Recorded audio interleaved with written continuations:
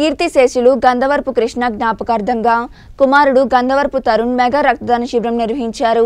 రక్తదాన శిబిరంలో యువత అధిక సంఖ్యలో పాల్గొన్నారు. ఈ కార్యక్రమంలో జాగారపు శ్రీను మాట్లాడుతూ సాధారణంగా ఆరోగ్యంగా ఉన్నవారు ఎవరైనా సంవత్సరంలో రెండు లేదా మూడు పర్యాయాలు రక్తదానం చేయవచ్చని రక్తదానం చేయడం వల్ల ఎన్నో ఆరోగ్యకర ప్రయోజనాలు ఉంటాయని సూచించారు. రక్తదానం వల్ల అనేక ఇబ్బందులు ఎదురవుతాయనే అపోహలు విడనాడి ప్రతి ఒక్కరూ రక్తదానం చేసేందుకు ముందుకు రావాలని ఆయన కోరారు.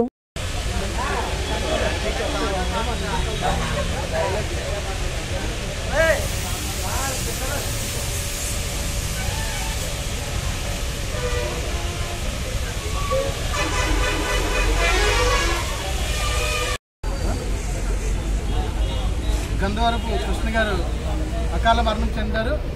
సందర్భంగా వాళ్ళు పుత్రుడు మరి గంధవరపు తరుణ్ కుమార్ ఒక ఫాదర్ పేరు మీద ఒక మెమోరియల్ గంధవరపు కృష్ణ మెమోరియల్ చా చారిటబుల్ ట్రస్ట్ కొత్తగా నూతనంగా ఏర్పాటు చేసి ఈరోజు వడ్లపూడి జంక్షన్లో అమ్మ మరియు మదర్ బ్లడ్ బ్యాంక్ సౌజన్యంతో ఈరోజు మెగా రక్తదాన శిబిరం ఏర్పాటు చేసి సుమారు అధిక సంఖ్యలో యూత్ మరియు మిత్రులు శ్రేయాబులస్లో అధిక సంఖ్యలో పాల్గొన్నారు.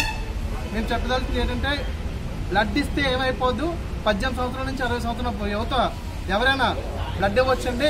జై హింద్.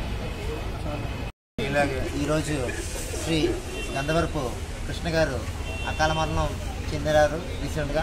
సో దానికి కారణంగా ఆయన సుపుత్రుడైనటువంటి శ్రీ గంధర్వ తరుణ్ గారు ఆధ్వర్యంలో గంధర్వ కృష్ణ చారిటబుల్ ట్రస్ట్ అనేది నెలకొల్పబడింది.